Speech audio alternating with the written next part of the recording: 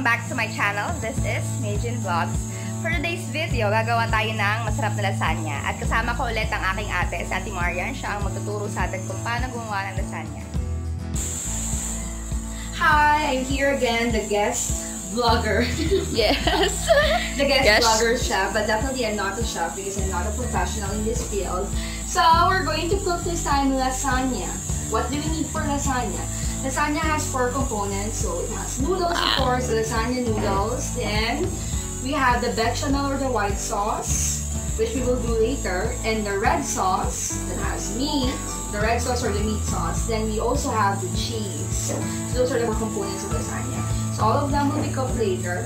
So lasagna is usually prepared on special occasions. So first, you don't just wake up on an ordinary day thinking of cooking lasagna. Because if you want lasagna on ordinary day, you'll just buy it.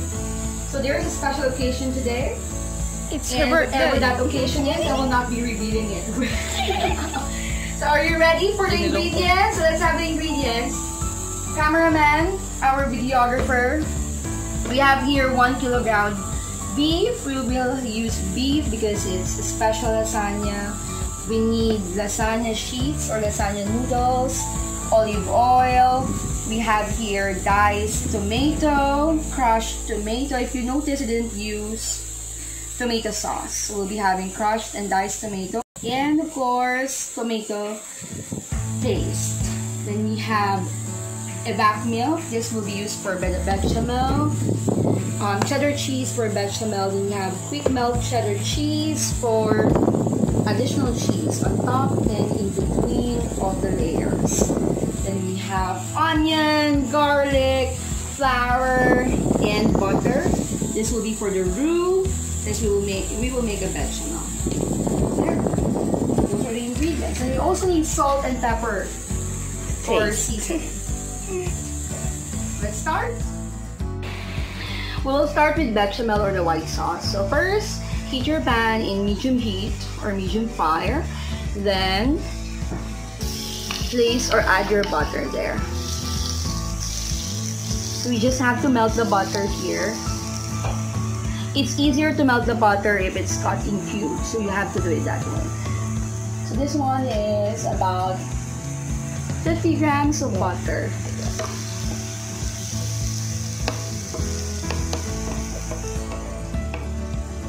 There, it's melting fast.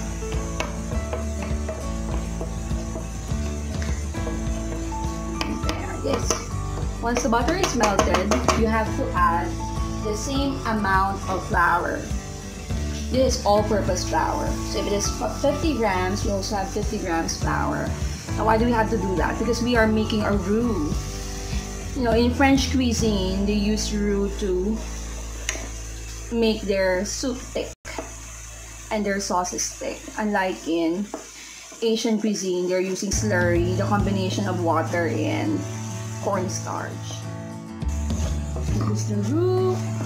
Once the flour is cooked, you can make it the heat low or you can turn it off before you add the milk.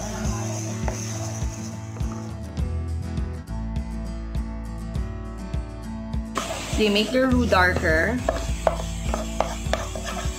so that the bechamel will be colorful. So it will not be called white sauce anymore, but an off-white sauce. I'll turn off the heat. It's still hot, that's why we turn off the heat. Even though it's just the heat of the pan, the flour is still cooking. We'll be using whisk this time so that the milk and the roux will mix well. So I'm using evaporated milk.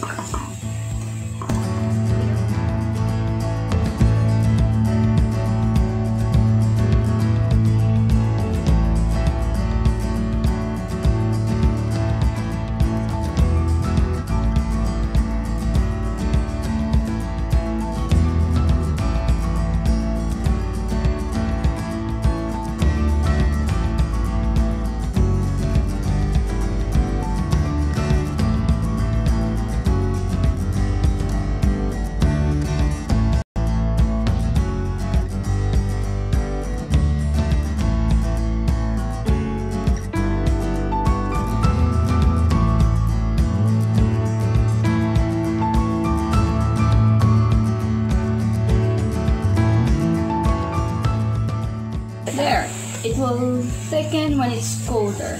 So we just have to set it aside and we'll have the red sauce. Okay? We'll now do the red sauce. If you'll see, we heat the pan again and you'll be using olive oil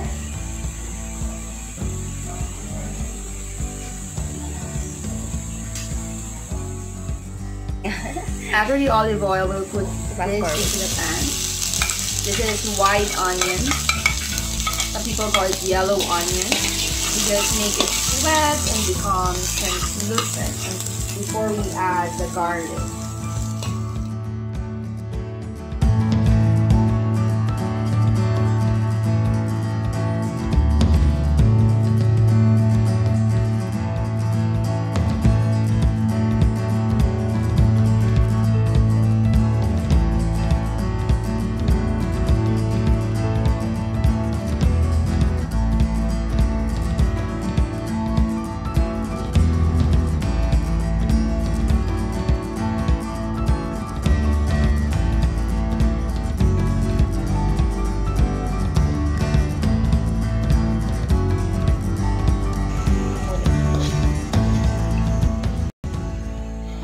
As you can see, the color has changed to brown, so it means the meat is already cooked.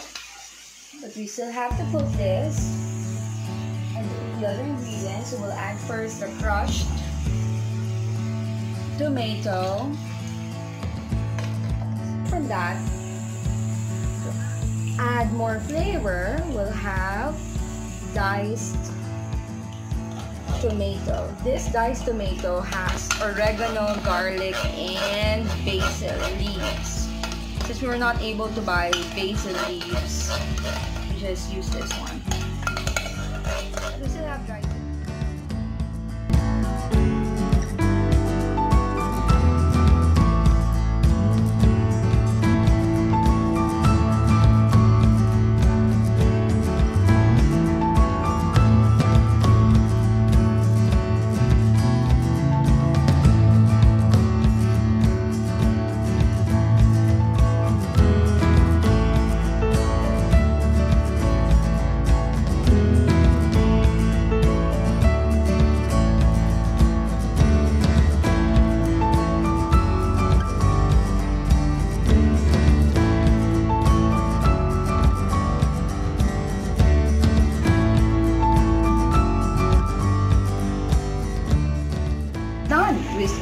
bake this, so it's just okay. It's well simmered, then this will be baked later together with the noodles and the vegetable sauce.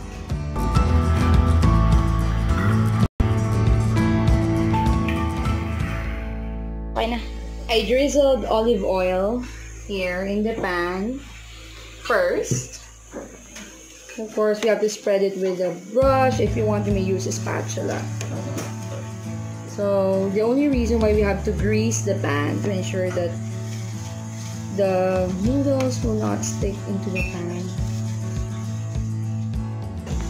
The first layer is the red sauce. So remember we greased it and we'll put into the first layer. Since we have a lot of red sauce, we just put a lot of red sauce. Why is this the first layer? Because this will maintain the moisture of the noodles. Because we're going to use instant noodles for this. But even though you're using the pre-cooked one it's still better to start with the red sauce. So biniding spatula? The red sauce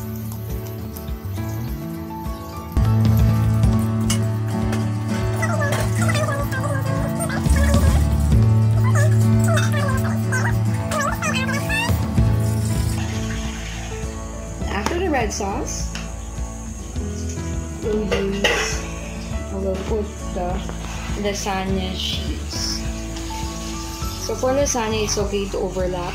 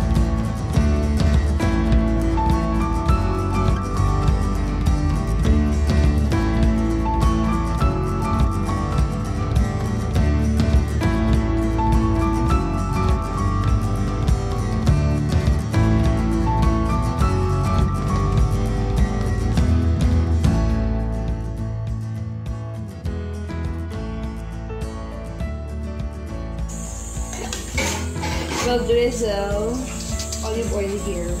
Should be a non-grease spray, but we don't have that. So we can use olive oil instead and brush. We're only doing this to ensure that in case the lasagna rise, it will not, the cheese will not stick into the foil because we cannot eat the cheese on the foil.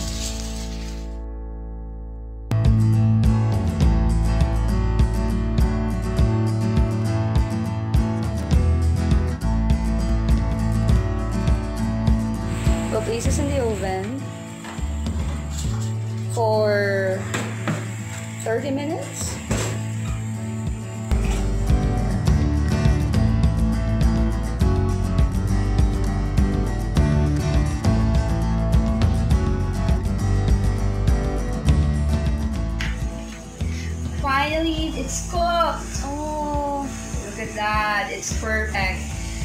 Of course, you will not immediately slice it. You have to let it cool before you slice or else it will not look good when sliced.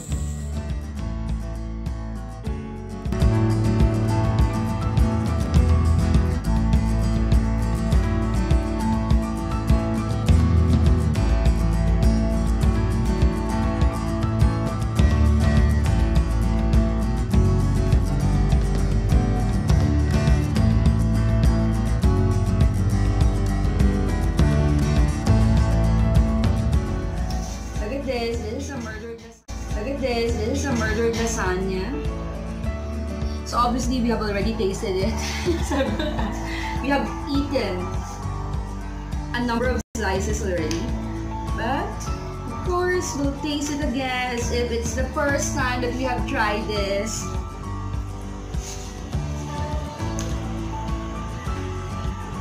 And we'll describe to you the taste.